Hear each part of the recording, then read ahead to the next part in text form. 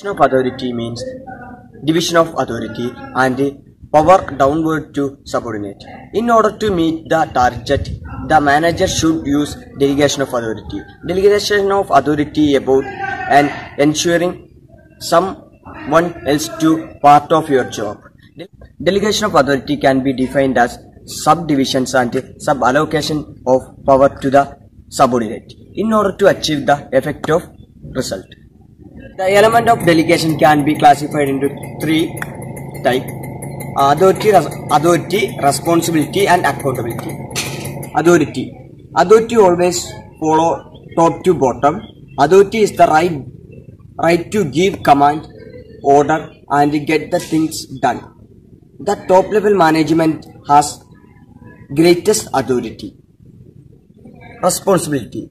Responsibility is the duty of the person who complete the task assigned to him.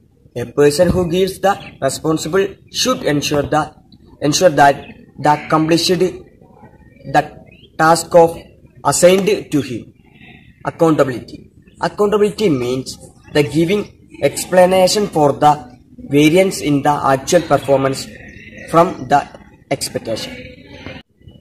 Now we are introduce a company how they applied uh, delegation of authority in their company.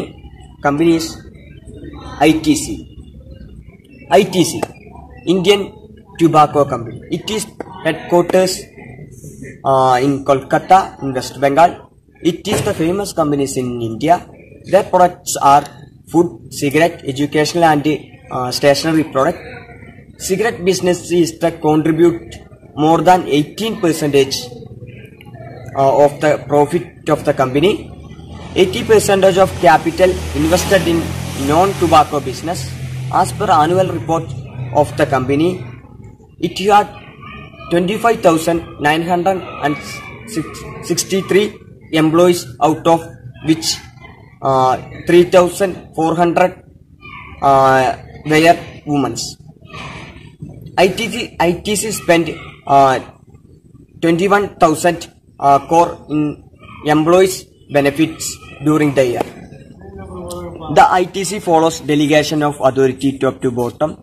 The work is gi- given to uh, supplied will be automatically transferred to the subordinate. It helps to perform the uh, task easily, develop and co- commitment among the subordinate. Thus, delegation is essential for the organization.